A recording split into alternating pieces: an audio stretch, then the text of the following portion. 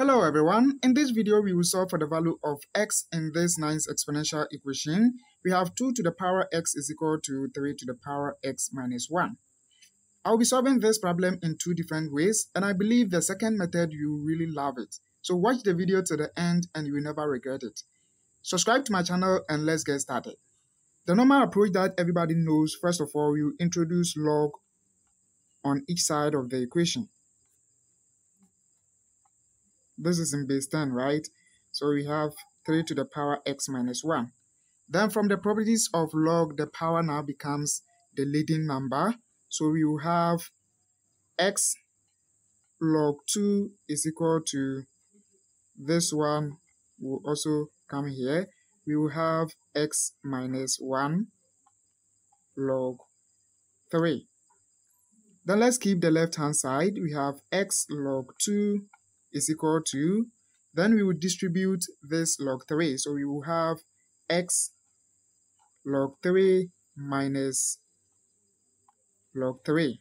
Let's rearrange the equation nicely. We will have x log 3, I'm writing this one first, minus this, we have x log 2 is equal to, I brought this one here, now we are sending this one to this side, so we will have positive log 3.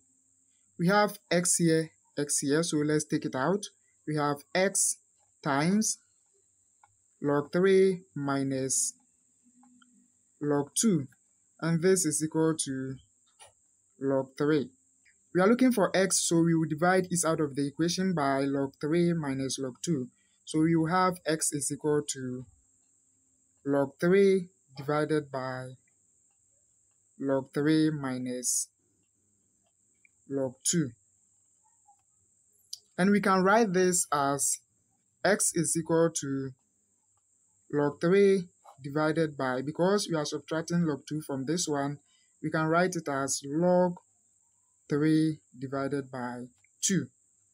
Then from change of base, if we have log in base a of b, we can write it as log b divided by log a. Therefore, we can rewrite this as x is equal to log in base 3 over 2 of 3. And if you use calculator for this, you will get x approximately equal to 2.7951. So this is the value of x for the first approach. Now let's move on to the second approach. This approach is very simple and shorter as compared to the first approach. With this approach, we will make the bases the same. So let's go ahead and then change this base to 3. How can we do that? We can write this 2 to the power x as 3 to the power log in base 3 of 2 to the power x. And this is equal to 3 to the power x minus 1. So that when this 3 and then this log 3 cancels, we'll get back 2 to the power x. Awesome. Now we see that the bases are the same, so straight away we can equate their exponents. So we would have log in base 3 of 2 to the power x is equal to x minus 1. Then from the properties of log, the power now becomes the leading number. So we will have x log in base 3 of 2 and this is equal to x minus 1. Now let's group like terms. We have x minus, I'm sending this one here, so we will have x log in base 3 of 2 is equal to, I'm bringing this negative 1 here, so we will have positive 1. We have x, x, so we can factor x out. We have x times 1 minus log in base 3 of 2 is equal to 1. We are looking for x, so straight away we will divide each side of the equation by 1 minus log in base 3 of 2, so that we will get x is equal to 1 divided by 1 minus log in base 3 of 2. And guess what? This is the final answer.